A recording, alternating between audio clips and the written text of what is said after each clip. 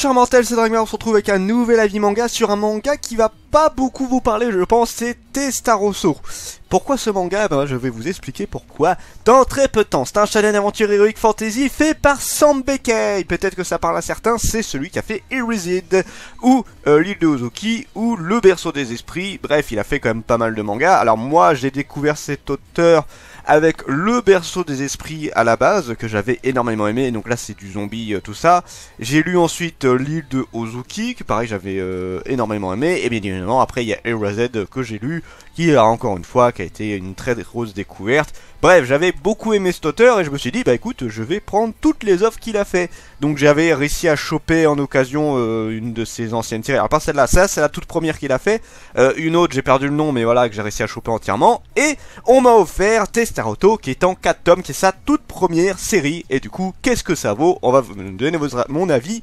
Je l'ai pas lu entièrement, j'ai sur les 4 tomes, j'ai lu 3 tomes. Il me reste le quatrième tome à finir.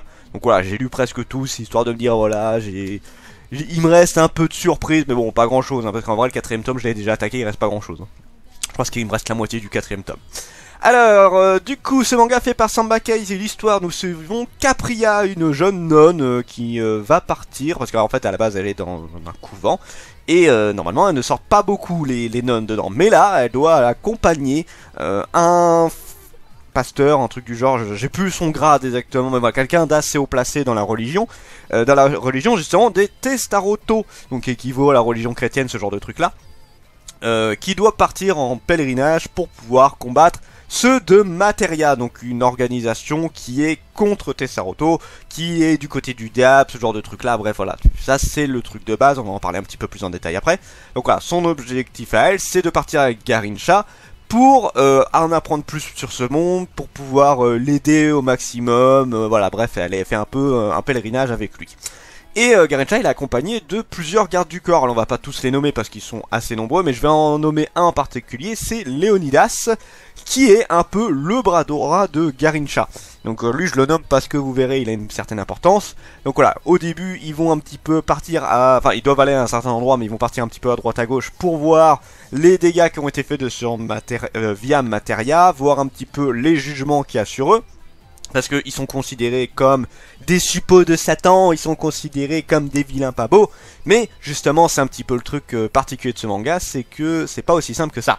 Et je vais partir directement sur la vie manga parce que euh, là je vous ai résumé euh, l'histoire très brièvement, y a, le manga est très très très complexe, il y a beaucoup de choses à raconter, je vais pas tout vous dire mais je vais vous expliquer un peu le fond pour vous compreniez parce que je vais pas conseiller ce manga à tout le monde, vous allez comprendre pourquoi.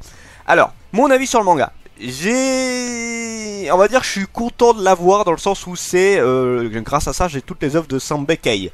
Est-ce que j'ai aimé ma lecture? Oui et non, on va dire que c'est très long à lire, c'est un manga, c'est du niveau de Death Note, c'est vraiment... Euh, alors moi je, lis très rapidement un manga, je le lis en 15-20 minutes, Là, celui-là, rien que pour un tome, sachant qu'il n'est pas méga épais, hein, c'est pas super épais, euh, rien que le premier tome, tu mets... Euh, je mettais plus de 30 minutes à le lire, ce qui est beaucoup pour moi, hein. c'est rare que je mette autant de temps à lire un manga, je le répète, je lis assez vite. Donc pour quelqu'un qui n'a pas l'habitude, ça doit être une bonne heure, je suppose. Bref, c'est assez long à lire. Alors ça, ça fait pas pour autant que c'est mauvais ou un truc du genre. Hein. C'est longue lecture ne veut pas dire mauvaise lecture, hein, au contraire.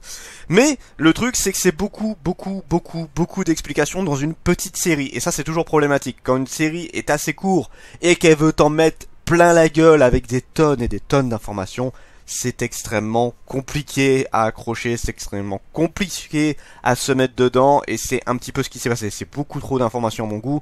Tu as les explications vie de Testarosso, où on en apprend plus sur les gardes du corps, donc Leonidas, ceux qui accompagnent Garincha, on en apprend plus sur Garincha, on en apprend plus sur la religion, on en apprend plus sur Materia avec les différents commandants, le chef suprême, les trucs du genre, bref, beaucoup, beaucoup d'infos.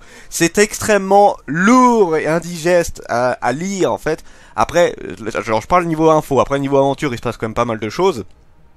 Et le manga, et d'ailleurs c'est le gros fond du manga, c'est on est là pour un peu se dire est-ce que c'est vraiment le méchant? Donc un peu à la Death Note justement aussi, est-ce que Light qui tue des gens mais c'est des criminels c'est vraiment un méchant? Est-ce que elle qui euh, veut arrêter Light malgré le fait qu'il sauve euh, quand même plein de gens en tuant des criminels, des trucs du genre. Bah voilà, c'est un petit peu ce, délire là. là un peu c'est Tessaroto, donc la religion qui ne fait, voilà, qui est un peu le truc, on est les gentils, on est là pour sauver et guider les gens dans le droit chemin, mais Materia a quand même aussi ses objectifs, pas forcément si mal que ça, au contraire, justement parce que il y a beaucoup de famines, il y a beaucoup de trucs où la religion ne va pas aider ceux qui sont pas de leur côté, alors qu'ils n'ont rien fait de mal. Je prends un truc de con, des gens qui sont du côté de Testaroto, qui sont vraiment croyants, tout ça, ils vont avoir des vivres, ils vont avoir de l'aide, tout ça. D'autres gens qui n'ont rien, jamais rien fait de mal de la vie, genre qui font, euh, voilà, euh, qui sont fermiers, qui font de la culture, des tout ce que tu veux, euh, mais qui ne sont pas croyants, eux, ils n'auront aucune aide. Bon, tu me dire, bon, dans un sens, voilà. Mais je veux dire, pour une religion qui est censée aider son prochain genre de truc là, ils aident un peu qui ils ont envie. Et encore une fois, même ceux qui sont de leur côté ne sont pas forcément ultra bien lotis. Un peu mieux dans le sens où ils ont moins d'emmerdes, mais c'est pas pour autant qu'ils sont pas dans la famine, qu'ils sont pas dans la maladie, ce genre de truc là. Bref, c'est un petit peu la galère. Et Materia, ils sont contre tout ça, ils aimeraient bien justement que un peu tout le monde soit équilibré, que tout le monde puisse être au même niveau et que surtout euh, Testaroto arrête de juger les gens pour un, oui et un non. Parce que des fois, il y a vraiment le simple fait que tu sois pas du côté de Testaroto, ça peut te valoir la mort. Et voilà, du coup, le manga te montre un petit peu qui c'est les gentils. Parce que nous on suit Testaroto dans l'histoire, mais euh, voilà, quand tu vois un petit peu les objectifs de Materia, il y a des moments où on est un petit peu euh, dans leur vision. Euh, tu te dis bah ils sont pas si méchants que ça, mais en même temps ils font du meurtre parce que oui ils attaquent quand même ceux de Taroto puisque eux les butent également. C'est voilà c'est une guerre un petit peu particulière où tu te demandes qui a raison et, c'est un petit peu le fond du manga donc c'est normal qu'il y ait beaucoup d'explications parce que faut se enfin faut se positionner oui t'es pas obligé de te positionner mais voilà c'est vraiment histoire de dire voilà qu'est-ce que tu sur, faut que tu comprennes les deux points de vue Sauf qu'encore une fois, sur une série aussi courte en 4 tomes, c'est très compliqué. C'est très compliqué de s'accrocher à tout ça. Donc, je vais m'arrêter là sur la vie manga. Est-ce que j'ai aimé l'œuvre? Et oui et non, je le redis, c'est plus me... J'ai l'œuvre de Samba Kei, je suis content, j'ai toutes ces œuvres, je les ai tous hein, d'ailleurs, là, j'ai tous les tomes, il n'y a aucun problème là-dessus. Mais euh, c'est pas le manga que je vais relire, clairement. Je l'ai lu une fois, je suis content de l'avoir lu, je ne le relirai pas. c'est clair et net.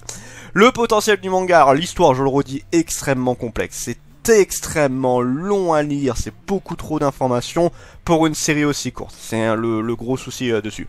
Le dessin, bon alors là vous allez euh, forcément reconnaître le dessin des Loisettes, ce genre de truc là.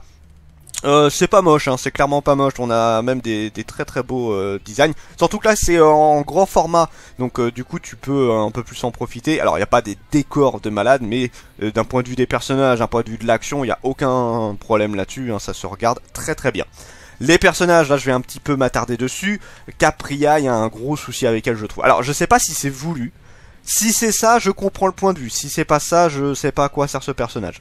Euh, en gros, Capria, je le redis, c'est une nonne qui est là un peu pour accompagner Garincha, Leonidas, voilà, son, petit groupe qui est là pour le défendre.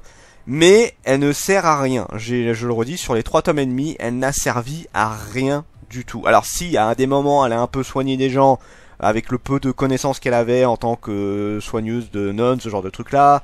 Euh, elle a essayé de réconforter, mais ça servait pas à grand chose dans le sens où en fait chacun des personnages a une forte personnalité et euh, bah Capria, elle a pas une forte personnalité, elle est vraiment en retrait, elle sait pas où se placer, il y a des moments elle est même euh, à se demander si sa religion est la bonne. Bref, en fait, pour moi, l'intérêt de ce personnage-là, c'est pas son caractère, ce genre de truc-là, c'est vraiment... J'ai l'impression que l'auteur veut que Capria, ce soit nous. C'est-à-dire qu'on est à la place de Capria en train de se dire merde c'est quoi ce bordel? Euh, Est-ce que Tessaroto est vraiment euh, quelqu'un de si... Enfin la, religion de Tessaroto est vraiment bonne Est-ce que Materia est si méchant? En fait euh, c'est la question qu'elle se pose très régulièrement, c'est elle est elle est très neutre je trouve, elle est pas au début bien évidemment, bah elle est dans sa religion, mais plus on avance, plus elle est un peu en mode neutre en train de se dire euh, voilà, je sais plus qui croire, je sais plus. Des fois, elle a même peur, euh, voilà, de Leonidas parce que c'est un gros bourrin. Enfin, c'est un bourrin. Il, fait sa mission, mais même lui, à des moments, se pose des questions vis-à-vis de sa mission, alors que normalement, ils ont été entraînés pour ne pas se poser de questions. Euh, voilà, t'as beaucoup de trucs comme ça et Capria, elle est vraiment en mode merde. Mais euh, est-ce que c'est vraiment la bonne chose à faire?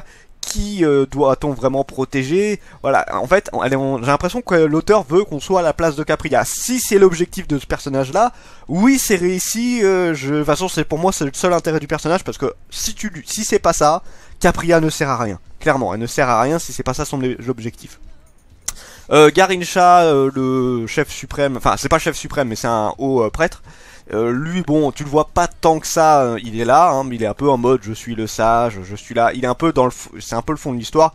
Le vrai personnage, je trouve qu'on va mettre plus en avant, c'est Léonidas, qui lui, vraiment, on voit son histoire de bout en bout, on voit comment il évolue. C'est un personnage que j'ai beaucoup apprécié. D'ailleurs, les personnages euh, qui sont liés à la religion et même certains qu'on voit un petit peu à part, qui sont du côté de matériel et tout, sont très intéressants. On a des personnages qui sont très sympas.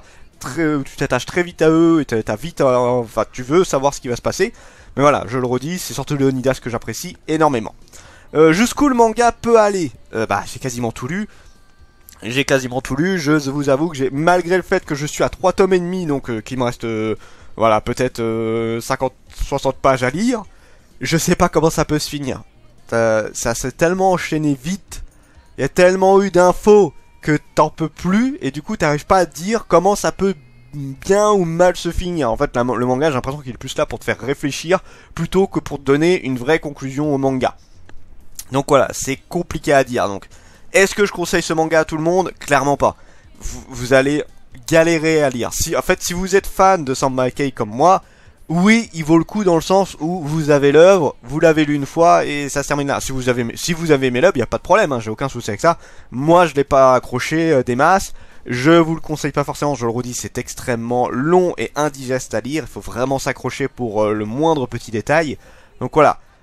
Il- Je sais pas à qui le conseiller. Si, vous aimez bien le côté, euh, voilà, euh, qui est le gentil, qui est le méchant, une grosse réflexion sur l'œuvre, oui, là ça peut vous tenter. Si vous n'êtes pas dans ces idées-là, euh, passez votre chemin. Vous aurez beaucoup de mal avec ça. Donc voilà, donc je le redis, je suis quand même content de l'avoir. Oui, ça fait bizarre après tout ce que j'ai dit dessus, mais oui, je suis quand même content de l'avoir parce que, voilà, moi j'ai la collection complète des Samba Kei, dans, dans tout, ce qui est sorti en France en tout cas. Et voilà, sur ce c'était Dragmar, je vous dis à la prochaine, chers mortels.